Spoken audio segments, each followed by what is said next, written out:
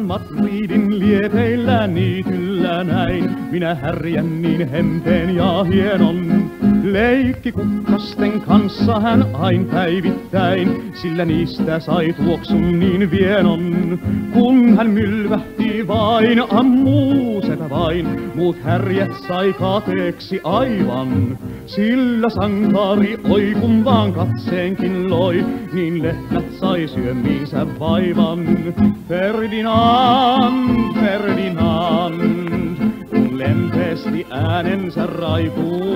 Ferdinand, Ferdinand, niin lehmät ne haaveiluun vaipuu. Ferdinand, Ferdinand, hän hienoonkin tanssihin taipuu. Hän on mestari tangon ja myöskin fandangon, mutta taisteluun on kelvoton.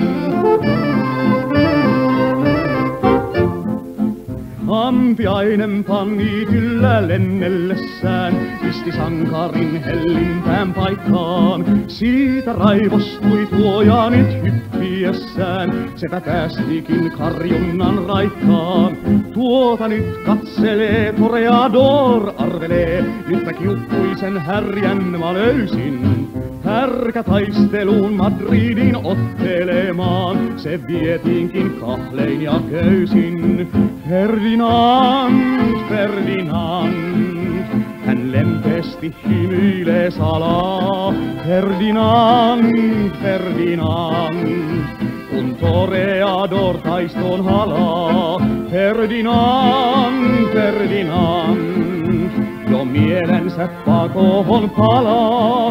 Kaikki nauravat arkaa nyt Ferdinand parkaa, kun taisteluun on kelvoton.